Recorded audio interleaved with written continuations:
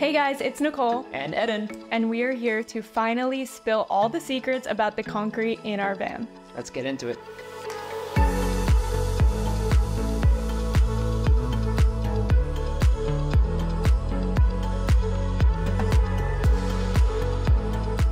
The number one question that we got asked about our van was what is this concrete product? Does it work good? Does it hold up? So we decided to make a full tutorial video of how we actually did the concrete and a full review now that it's been in the van for a while. Before we get into the tutorial, we used a product called SmartCret. We will link the product in the description for you guys. SmartCret is a type of micro cement. Micro cement is not regular cement, it's actually not really cement at all.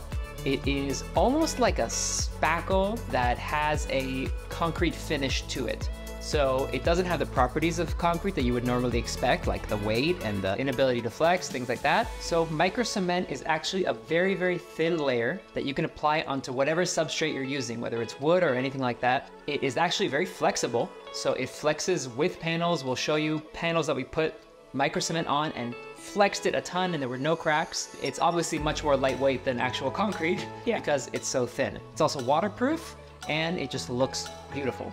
Yeah, especially in a van. It's a small space and it's just such a clean aesthetic because it's it's relatively plain looking, but it still has that dimension in it. So in a van it just looks absolutely amazing. We had a lot of concern putting something like this into a van because it hadn't been done very much. Only a few people we've seen online that have actually done it, but we decided to take the risk. We did a ton of research and decided to go with SmartCret in the end. And we're gonna share with you guys not only how we put it on, but also how it held up. And our honest review of the product. So we're gonna now get into a tutorial of the product from start to finish. SmartCret sells um, do-it-yourself packages, um, and that's exactly what we used for our van.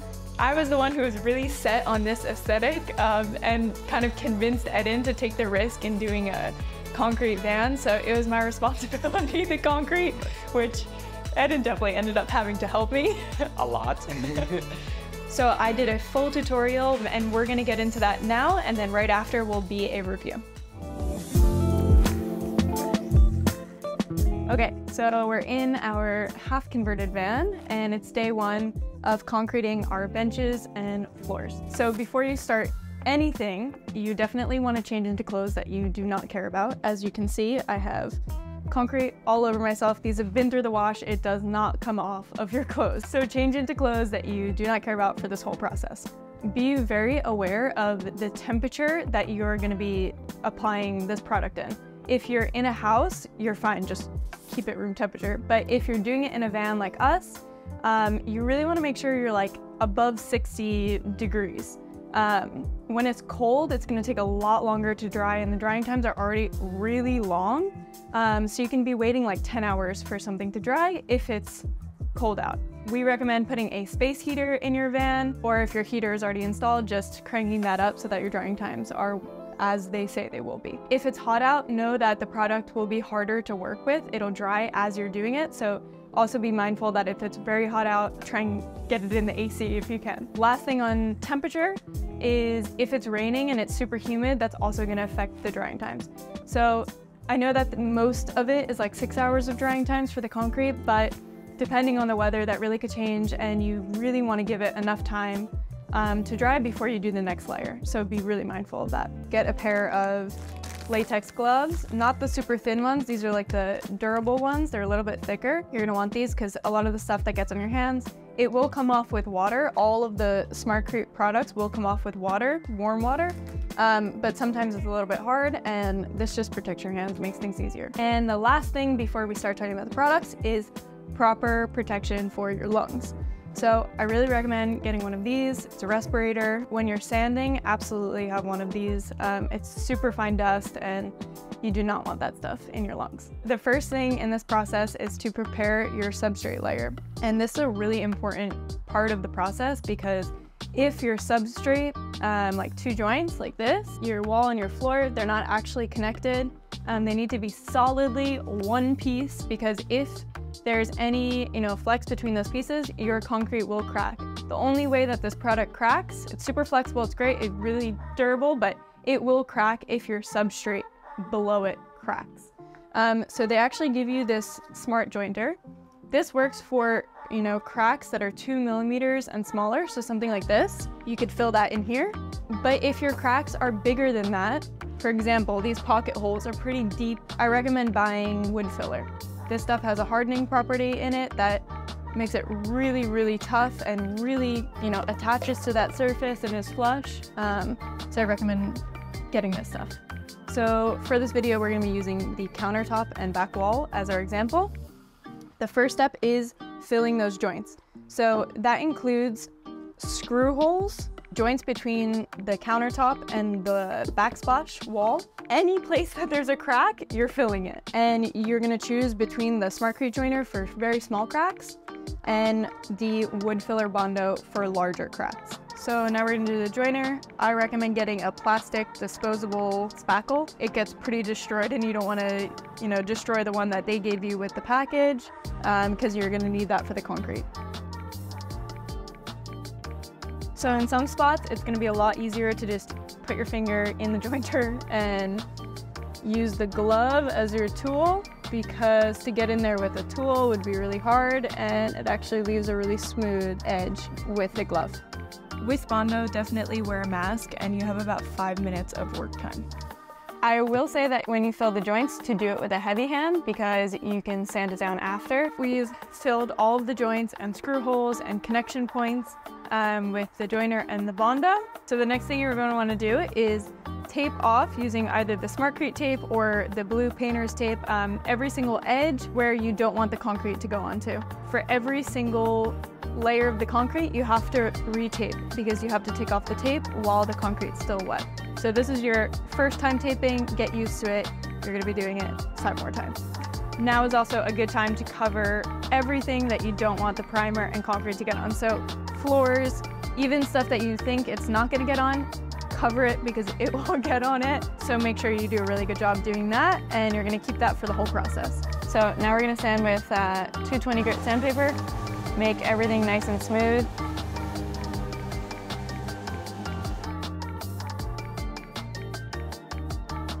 This is definitely a trust the process process with all of it. So it's not supposed to look pretty until the end and don't freak out during the process.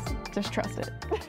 Now that the surface is prepped, we are gonna prime it. They sell two different primers. One is for porous surfaces and one is for non-porous surfaces. Because this is wood, we're gonna be using the um, porous surface, basically meaning that it absorbs.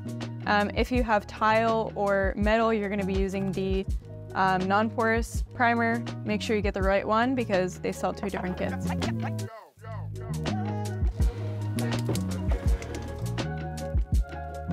For this stuff, definitely use a glove. It's very sticky, and I would say out of all the um, products, this is this one's the hardest to get off your hands. So use a glove for this one. They do give uh, just two rollers with the kit, one for the primer and one for the varnish at the end. So if you're doing multiple different projects, you can just save it in a Ziploc bag and it stays completely wet, so you don't have to keep buying them. And just roll some onto the brush. You don't want to apply this too thin because you really do want it to leave a nice gritty surface for the cement to grab onto. The easiest way to apply it is with a roller and for hard to reach spots, these foam sponge brushes are great. So after you've put on the primer, it says to wait um, 30 minutes, but when we contacted SmartCret, they said actually between two to three hours. And then the next thing is you need to apply the first layer of cement within 24 hours of putting this on. The tape with the primer is a little tricky because it kind of hardens, so your tape might get a little bit stuck. Um, I just used an X-Acto knife to get it out, so you do need to take the tape off after the primer and retape for your base layer. Now the first step of the cement. You're gonna be doing two coats of Smart Base. You'll use a metal trowel, and I recommend also getting a smaller metal trowel for corners and hard to reach spots. And definitely work from top to bottom because as you work, it's definitely gonna be dripping down. When you open it, definitely give it a mix. The drier stuff is at the bottom, so you wanna mix that all to be one consistent texture. So it should look something like this. For vertical surfaces, if you cut out a piece of cardboard, it's really nice to be able to catch what falls because it really does drip as you're going. Sit right back up.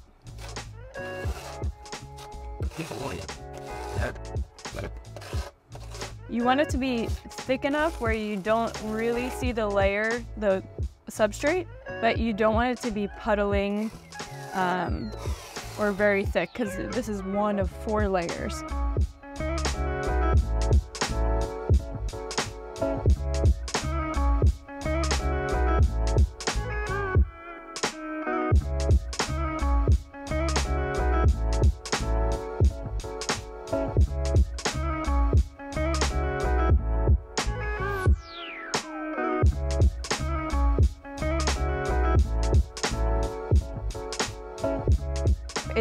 Six hours since we did the first layer. Make sure you give it at least six hours. Depending on the temperature outside, you might need a little bit more, a little bit less.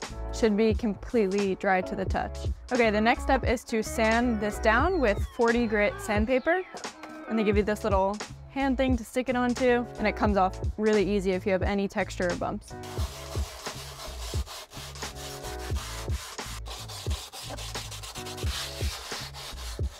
If you're working with edges, be really careful with this because it'll just completely take it off. So be super gentle. If you're having trouble sanding corners um, or little hard to reach spots, I recommend either cutting the sandpaper to 90 degrees and also you can pick up a Dremel. This is really helpful for this whole process um, if you're working with corners and little edges that you can't reach.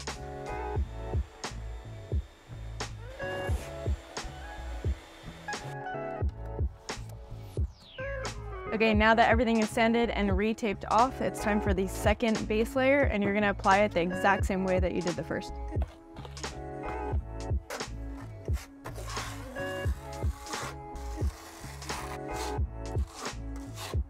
When you're working, try to keep this covered because it does dry out and it stays a lot better if it's just covered and you take a scoop once in a while. So after we've applied the second layer of base, you let it cure again for at least six hours till it's completely dry. Then I sanded it with 40 grit sandpaper again, and then retape the surfaces so that I can apply the next step. The next step is to apply two coats of Liso. This one is a little bit thinner um, than the base layer, and it's honestly a little bit easier to work with, and you really want to put on a very, very thin layer. A few things about applying the liso is you really want to make sure that there's no air bubbles because then when you sand, they kind of like flake off. So really make sure that when you're doing it, there's no little air bubbles underneath. And also this is the colored one of whatever color that you've picked. The base layer is a bit darker. This actually dries to the color that we chose.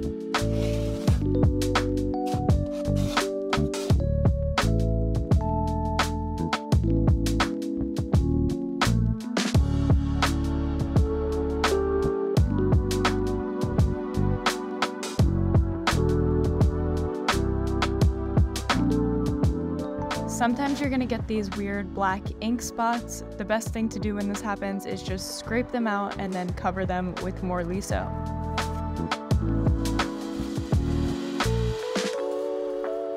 So after the liso has dried for six hours, you're now gonna sand with 220 grit sandpaper. I definitely recommend wearing a mask for this. The dust when you sand with this sandpaper and with the liso is super, super fine and probably really not great for your lungs, so wear your mask.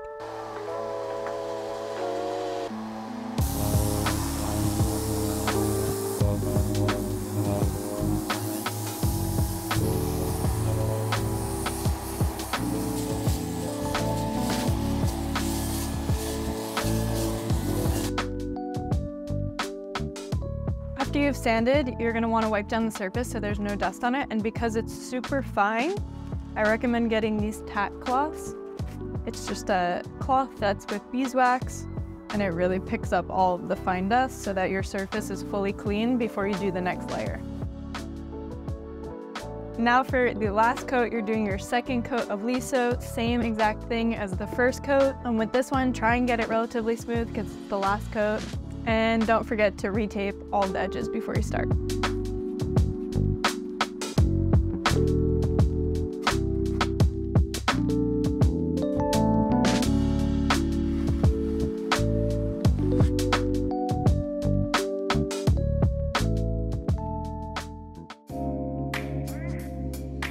So the second layer of liso has dried for six hours. We went ahead and sanded it with 220 grit sandpaper.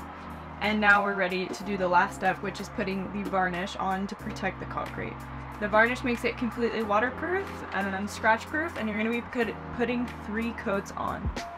If you're using the matte varnish, you really wanna mix it because the part that makes it matte gets stuck at the bottom, so mix it really good before you pour it out. Also, they say to put it on with a roller, but if you're dealing with edges, a paintbrush or one of these foam brushes will be much easier. For the varnish, to do the three coats, you're putting it all on in one day. It is a two to three hour drying time in between coats, and between the first and second coat, you um, sand with 400 grit sandpaper. Between the second and third coat, you do not need to sand. If you want the area to be very waterproof and scratch resistant, they recommend four coats instead of three. So for our countertops and our floors we're, and bathroom, we will be doing four coats of the varnish. Before you start the first coat of varnish, make sure that you really clean the surface from the dust because it'll get kind of cloudy and stuck in the varnish if you don't clean it well enough.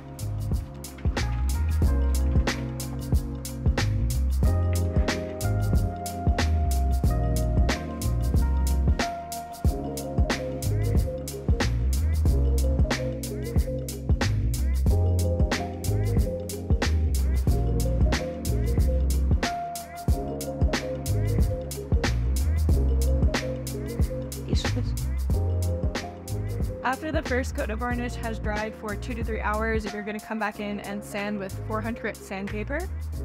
Um, you're only sanding in between coats one and two of the varnish. And after you sand, you'll wipe down again and then do the same process and put another coat of varnish on.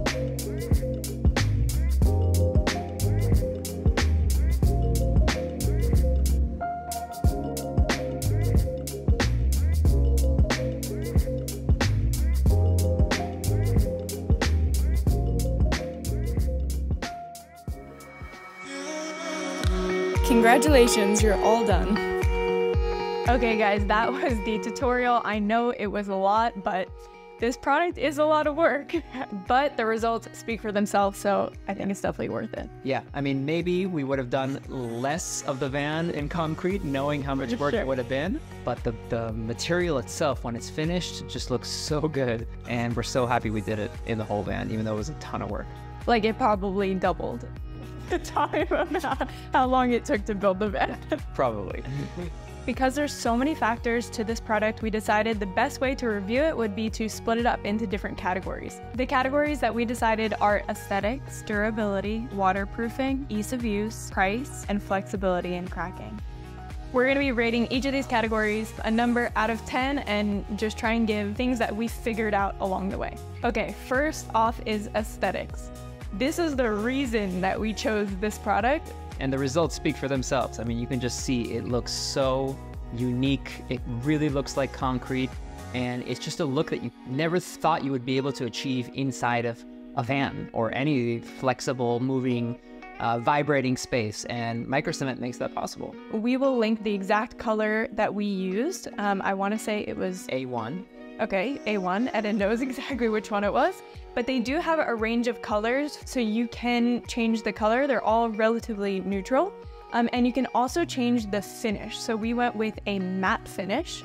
Um, they do also have a satin finish as well. Also, the final look is really going to depend on how you apply the product. As you saw in the tutorial, um, every stroke and every sanding had an effect on the end result.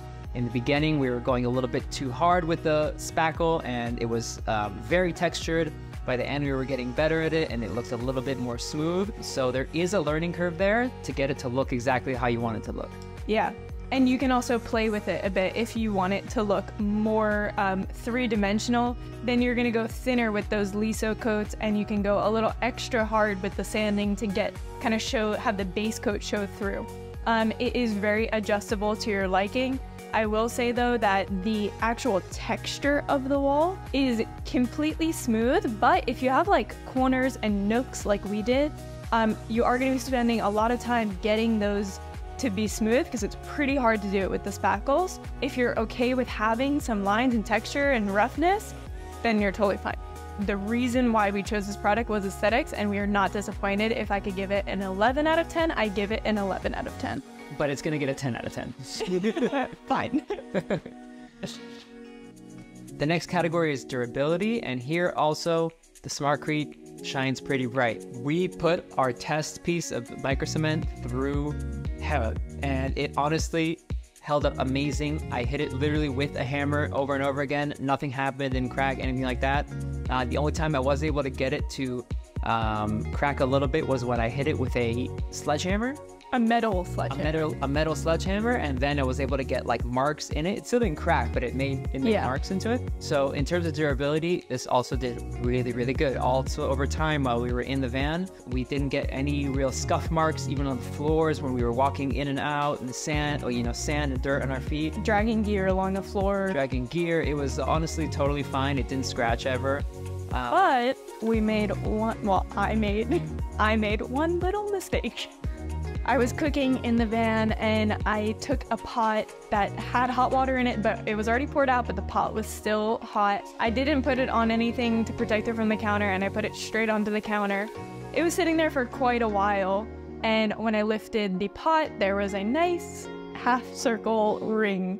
Um, I was pretty bummed about it. I felt really bad, but um, it was something that I just didn't think about that it was not necessarily heat proof. Normally, with countertops, you should be putting something underneath your pots, anyways. Yeah, so lesson learned this product is not heat proof. You cannot put hot pans and hot things on it, it will burn it. But not like a coffee cup or something. That's totally fine. We're talking like hot metal straight onto it. Yeah. So for durability, we're gonna give this product an 8 out of 10.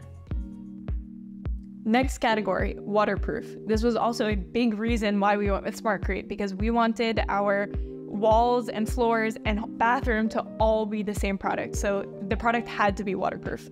We learned a lot in this category. yeah. When we did our test panel, we poured water on it and at first the water just dribbled off um, and you didn't see any stains. But if you let water cool after like five, maybe 10 minutes, you'd start to see that it was almost seeping into the panel and getting like watermark darker spots. Now we spoke to uh, Smartcret directly to try and solve this problem. They first told us put more layers of the finishing varnish, and we did this, but we didn't see the results that we wanted to see because we still had staining. And we were just nervous because in the bathroom, like even though the shower pan is on a tilt, the water's still gonna collect on the bottom a bit in the corners.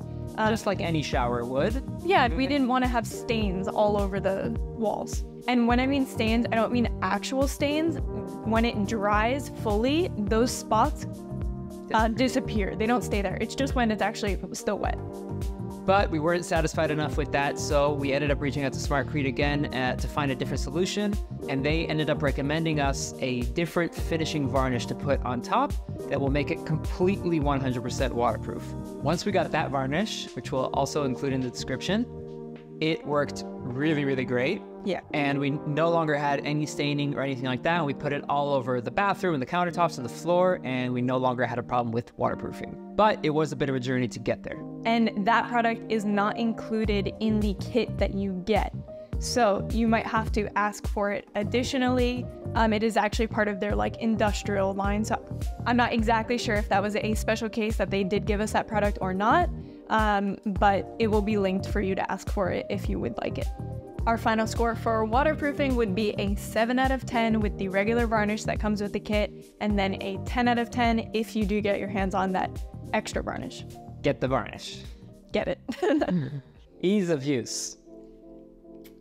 It's not easy to use.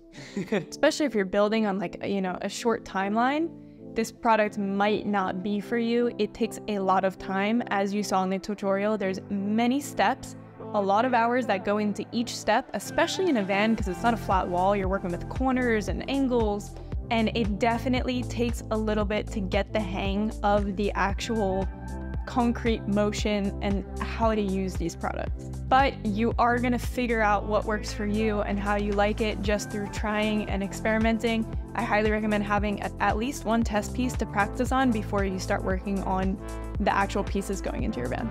If you can do this in a um, covered space, That is very important. If you're working outside, what's gonna happen is while the concrete is drying, pollen, dust, leaves, things are gonna fall into it and they stain it a little bit. Try to be in a closed space.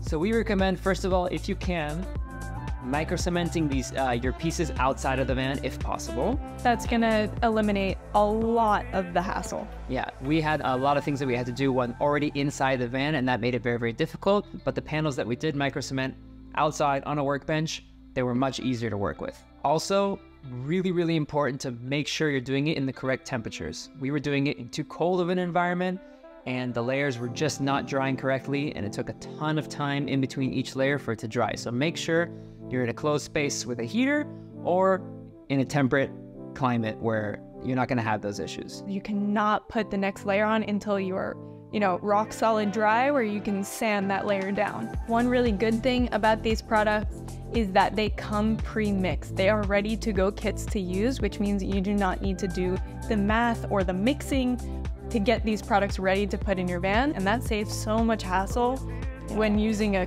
cement or micro cement product. One really great thing about this product is that you could put it on any substrate. You can put it on wood, metal, plastic, tile, whatever it may be, you can put this product on it. You just need to know if it's an absorbent surface or a non-absorbent surface.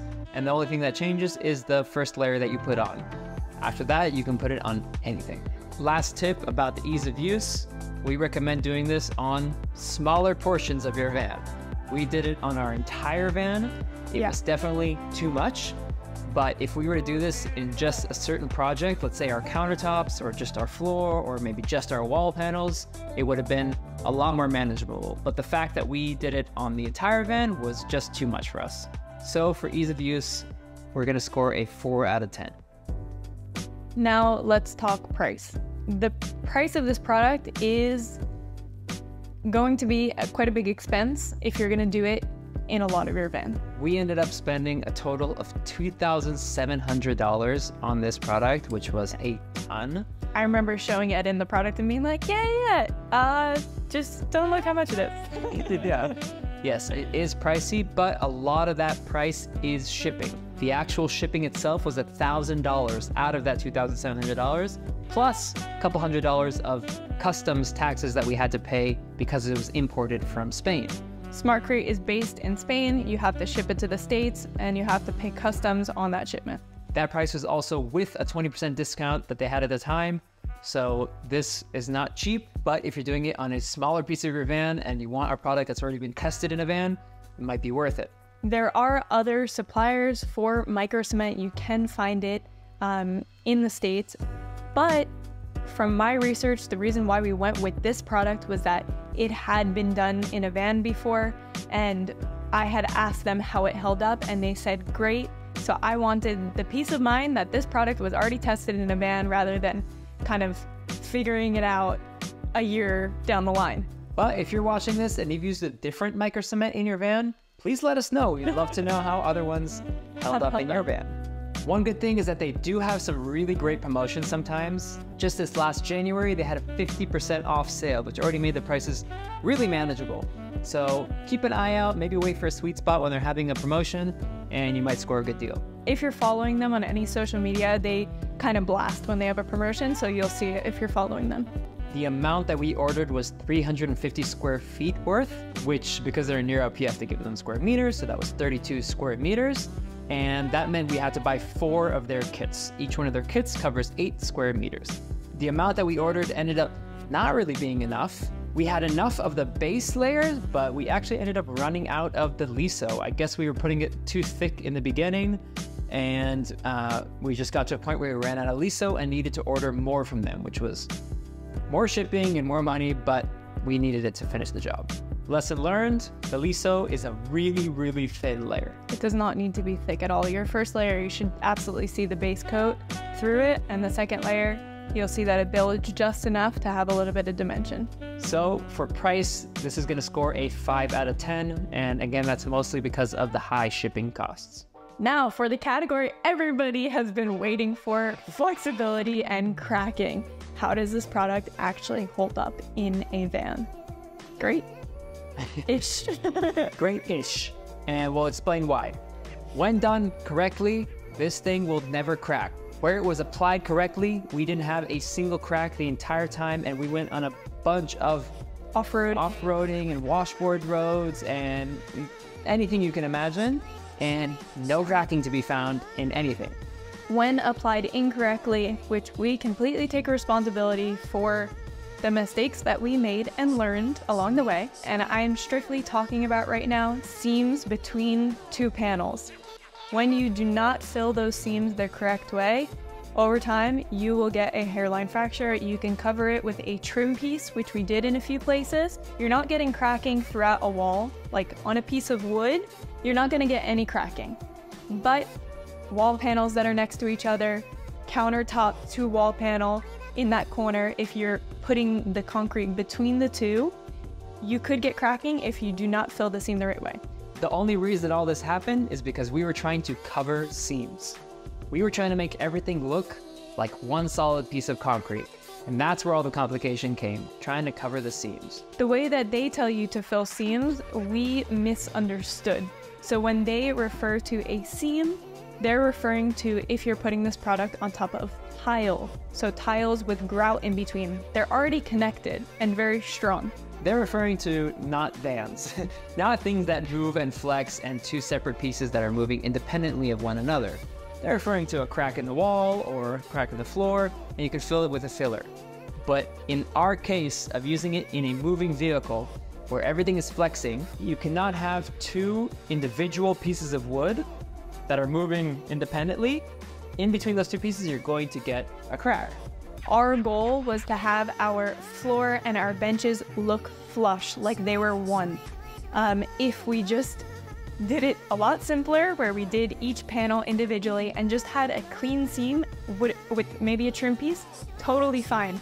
But we overcomplicated it and just tried to go the extra mile. Don't try to cover your seams, and if you are going to try and cover your seams and make it look like one solid piece, you have to fiberglass between the seams. You have to make it so strong that these two individual pieces are no longer individual, that it becomes one solid piece and there's not going to be any flex in between them. And where we saw the success with that method was our bathroom. Edden built a custom slot sink and actually covered it in epoxy. It was all different little pieces of wood, but because it was covered in epoxy and then the micro cement on top, we didn't have any cracking, as well as our shower pan. Um, the edges were fiberglassed and then the micro cement on top, no cracking there whatsoever. Honestly, if you are going to use this product in your bathroom, don't use it on the floor and the shower pan. Get a shower pan. It's just going to save you a lot of like headache and you're going to have a much better peace of mind that you have no leaks, no cracking whatsoever. Use it on the walls. You're not even to notice that it's not on the floor. We ended up actually really liking these like outdoor decking panels to put on the floor, so we didn't even end up seeing it on the floor. It'll make your life a lot easier if you just use it on the walls of your shower. Overall, it did really, really great while we weren't trying to be complicated. In the parts that were just full pieces of wood, zero cracking whatsoever. So overall, for flexibility and cracking, we're gonna give this product an 8 out of 10. So, our final thoughts. Honestly, this product is breathtaking. We will be using it again. Um, we will just be learning from our mistakes and using it in a little bit less places and being a little bit smarter and not trying to overcomplicate things. Um, but this is definitely, we're going to see this in the van space more and more. Even our van came out like what, six months ago, and we've seen countless vans with this concrete look. Yes. Um, it's definitely going to be in style, in trend. I think you should hop on the bandwagon. if you have the budget and if you have the time and the energy for it, it will look incredible. That's the end of the story. If you do end up using this product, we would love to see what you guys did. Go ahead and shoot us a message, show us what you've done. or if you have questions throughout the process, we probably know the answer, so you can just DM us. And we wish we had someone to ask those questions while we were using it, so we'd be happy to answer. The easiest way to get to us is through Instagram. That's Nicole and Edden. We'll link it here as well. If you haven't already, please like and subscribe to our channel. It helps support us through everything we're doing. Yep. Something exciting that we created was a design workshop. We go very in depth on how to design your van. Um, if you feel overwhelmed by that, I think what we put together is very helpful for a new builder or even a builder that just wants to take their vans to the next level.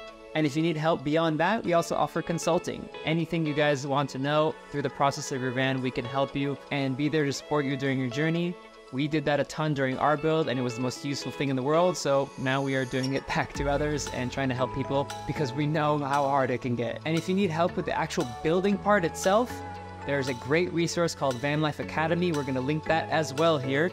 And that is what we use to learn almost all the basics of everything there is in a van build, from electrical to woodworking to systems to installation. It's just a ton of courses from different van builders that teach you the basics of how to do everything. That was our basis of knowledge when we built our first van. If you have any questions, throw it in the comments and we will make sure to get to it. Thanks, guys. Bye. Toodaloo.